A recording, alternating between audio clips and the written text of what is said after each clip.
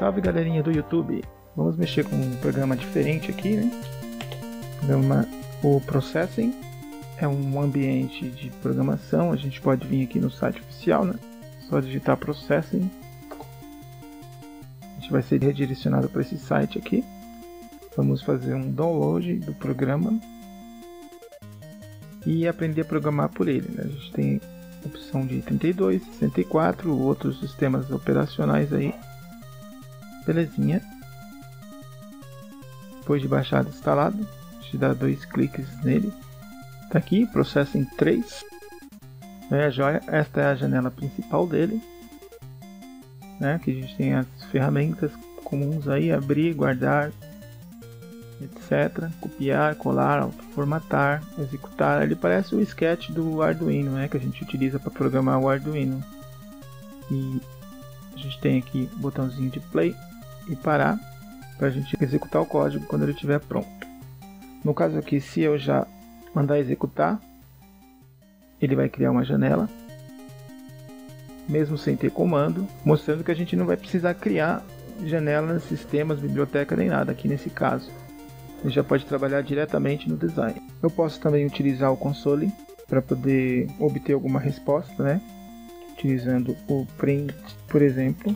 Aqui a gente escreve qualquer coisa, vou colocar um número aqui, ó, 500 mais 500.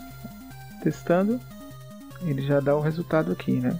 Que nem a linguagem C mesmo. Essa linguagem aqui é bem parecida com C, mais pro lado do Java, né? Por exemplo, se eu quiser exibir dois resultados, tem que pôr entre aspas, vai aparecer um na frente do outro, né? Eu posso utilizar o comando ln, que vem junto com o print, print ln, e ele vai pular uma linha. Ele vai escrever o primeiro texto, vai pular uma linha e vai nos devolver o segundo texto. Bom, em todos os modos está aparecendo a janela, eu posso escolher o tamanho que ela vai aparecer, size, aqui eu coloco 800 por 600, que eu gosto de usar, e está aí a nossa janela no tamanho escolhido. Quando eu utilizo essa função e, e controlo esse valor, ela nos dá duas variáveis, duas constantes que vão ser o width e o height, que é a altura e a largura, os valores que estão ali. Então vou escrever aqui no print, ln mesmo, e ela vai retornar para a gente os valores ali que tem dentro do size. Né? A gente pode utilizar essas constantes aqui para os nossos jogos para poder estar tá controlando a posição de objetos, por exemplo. Bom, vamos utilizar a estrutura correta aqui, que seria setup, função de tipo void, Ctrl T a linha, né? Deixa tudo certinho. Na seção dos desenhos, a gente utiliza a função é aqui que vão ser exibidos os nossos desenhos.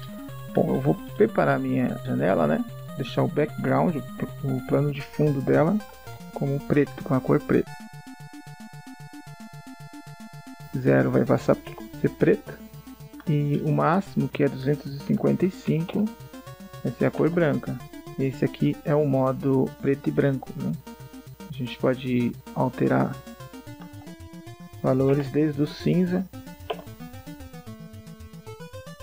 etc. Vou deixar aqui como, como branco. 255. Aqui a gente vai desenhar um retângulo, nosso primeiro objeto. Rect, ele é um pouco diferente do, do Allegro. A gente tem o X, tem o Y, tem a largura e tem a altura. Não é X1, X2, as coisas não, ok? Nesse caso aqui eu vou colocar 100, por exemplo, 100, a altura vou colocar 50 e a largura vou colocar 100. Vamos exibir, tá aí nosso desenho. Eu posso colorir ele, a cor de fundo com a função com o comando fill preenchimento vou utilizar a cor preta porque o fundo ali é branco posso utilizar outras cores no caso a gente pode utilizar o sistema RGB eu vou colocar aqui 255 vai ser tudo vermelho. Nada de nada de verde né? Que é o G que é o green. Nada de azul que é o blue. Então vai ficar só vermelho ok? Posso misturar as cores também né? E aí o pessoal cria as cores que quiser. A mesma coisa para o background, aqui em cima. Bom, aqui eu posso declarar as variáveis no escopo global, geralmente é feito assim, em x, y, w e h. Também posso fazer do jeito tradicional, que geralmente a gente atribui valores dentro do setup. x igual a 100, y igual a 100, w igual a 100 e h igual a 100, né? Vamos atribuir aqui os valores x, y, w e h. Temos aí nosso retângulo com os valores controlados. Bom, agora aqui eu posso, por exemplo, x mais mais, e aí nosso objeto vai se movimentar na tela. Ok. Vou deixar o background com a cor preta, não vai precisar repintar. Também posso controlar, posso controlar qualquer coisa, né? No y menos menos, ele vai subir exatamente como as demais linguagens, né? Objetos. A gente lembra que na linguagem C a gente usava struct, né? Aqui não vai funcionar. Struct obj lá, né? Criava aqui as variáveis, int e tal. Mas aqui não vai funcionar. Aqui a gente vai ter que utilizar a classe. O nome da classe. Colocar aqui obj também. Geralmente ela é separada, né? Fica embaixo. Deixa eu parar aqui que eu não gosto de ver esse erro. Aqui a gente faz a mesma coisa. Vamos declarar. Temos que criar um construtor. Ele tem o mesmo nome da nossa classe o nome é maiúsculo, por padrão, e o construtor também tem que estar em maiúsculo. Então vem aqui, obj, int, underline x, vírgula, int, underline y, vírgula, int, underline w, int, underline h, que é a altura, beleza? Aqui a gente vai dizer que x é igual underline x, y igual underline y, w e h, h. Beleza, está criado aí a nossa classe de nome objeto. Ela tem os quatro parâmetros aí, né? Vai funcionar como nossa estrutura. Então agora eu posso declarar nosso objeto. Eu vou obj, dar um nome para ele, vou chamar de, de box igual a new obj e aqui a gente coloca os atributos.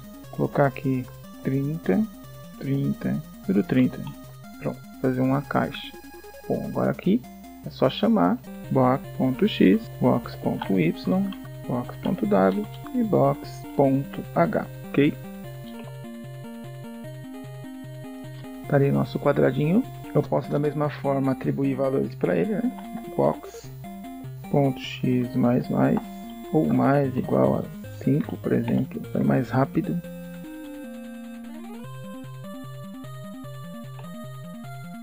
Beleza, o nosso background não está sendo atualizado, né? Então vou colocar ele aqui. Agora ele vai ser atualizado e a tela vai ficar preta. Beleza, agora a gente fez o padrão, né? Mas geralmente em Java a gente tem que criar classes separadas. É uma forma de organização mais, mais legal, mais bacana.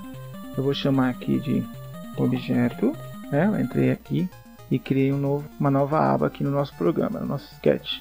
Nosso objeto já está prontinho ele aí. Beleza? Agora o nosso programa principal ele vai acessar o nosso objeto como se tivesse aqui, beleza? Funcionou da mesma forma.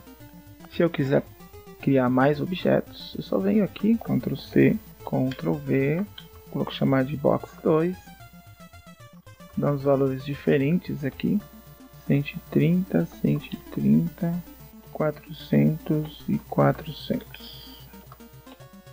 Beleza. Eu tenho que criar um objeto 2 também. Beleza? Agora eu criei um quadradão ali. No cenário. A gente pode fazer outras coisas, né?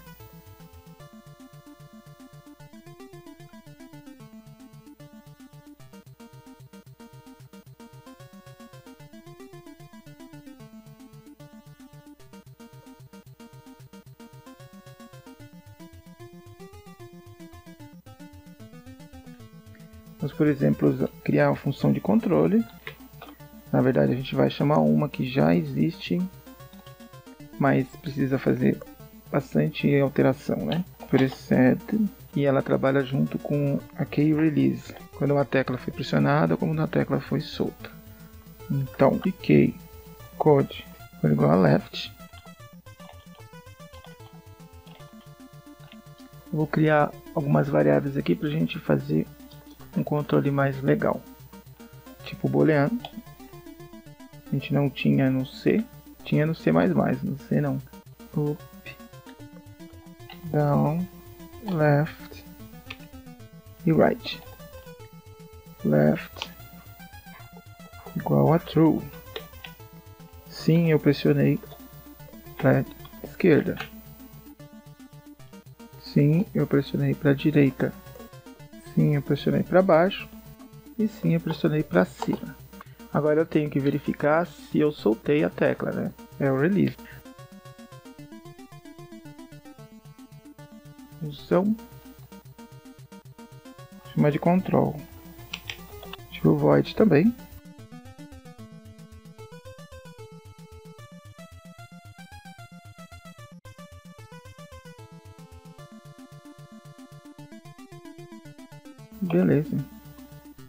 Eu só inverti aqui o X. Left é menos e right é mais. Beleza.